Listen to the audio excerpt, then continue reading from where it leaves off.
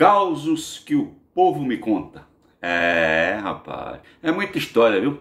A gente que vive na estrada, a gente que está sempre ancorado em algum lugar, a gente que está sempre conhecendo um amigo ou visitando aqueles velhos amigos, tem sempre história, tem sempre uma historinha para você ouvir. E essa é muito interessante.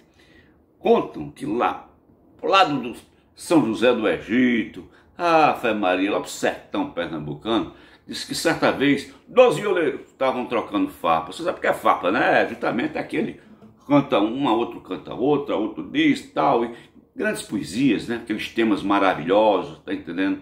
É, e o pessoal chega lá, diz, olha, o mote é esse, e em cima daquele mote eles improvisam, assistilham, decassílabo, seja o que for, mas eles estão sempre fazendo, né? Suas orações, que eu, que eu chamo de orações, tá certo? Porque é uma coisa linda, são pérolas. Então dizem que os dois, tal, tal, tal, tal, tal, tal. E acontece, nessas cantorias, de repente você chega, bota a sua frase do moto, aí eles vão, tal, tal, tal. Há um bebo, sempre tem que ter um bebo, né? O bebo chegou, levantou o dedinho, disse, eu queria que vocês tirassem um mote. O violeiro disse, cidadão, não é assim, o senhor tem que botar o seu mote lá, ali onde estão aqueles. Quando chegar a sua vez, a gente disse, não, porque eu queria que fosse agora. Não, agora não dá, e ficou aquela confusão, a cantoria parou, e aquela agonia toda, tal, tal. Aí o delegado estava na cantoria. E eu sei que o delegado foi lá, disse, o que é que tá vendo? Aí o cantador olhou assim, o delegado disse, esse cidadão aqui que está atrapalhando a nossa cantoria. Mas por que é que está vendo? Não, porque ele está querendo que a gente tire um mote para ele e tal, tal. Mas o cara olhou mas rapaz, não é assim, você tem que botar lá, chegar a sua vez, né? Do seu mote. Não, mas eu queria que eles tirassem agora, para. E ficou aquela confusão toda tal. Aí o delegado disse, rapaz, isso é um bebo chato danado. Então, para não aturar esse cara, não dá para vocês tirarem, fazer qualquer coisa.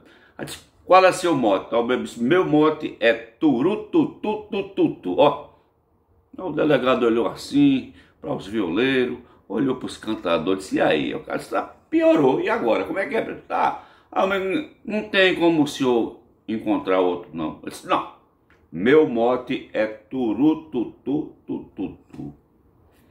Aí um dos cantadores disse, se é tirar o seu, esse seu mote, o senhor vai embora. Ele disse, na hora. Eu vou embora até na cantoria, eu quero ver se vocês são bons.